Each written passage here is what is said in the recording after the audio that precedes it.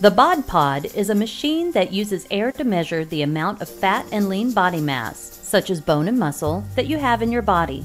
This is called your body composition.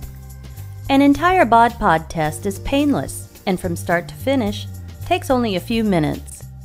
To prepare, you should have not eaten food, had anything to drink, or have exercised for at least two hours before the test. You will be asked to remove all jewelry, glasses, and hairpins.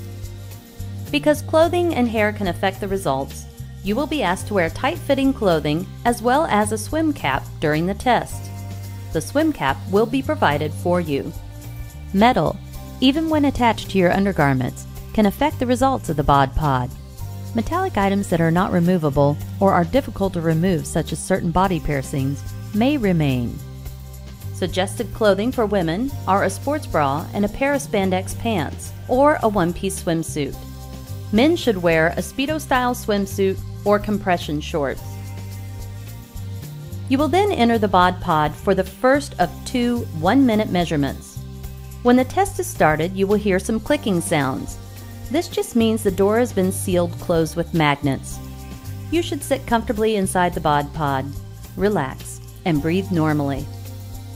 By pressing a release button and pushing on the door, you can easily get out at any time.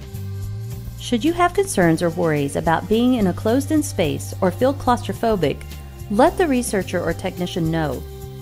They will work with you to help you feel as comfortable as possible. Once the first measurement is complete, the technician will open the door briefly and then close it again to begin the second measurement. Once both measurements have concluded, your test is complete. However, if there is a large difference in the two tests, then a third test may be required. You will then exit the Bod Pod and redress.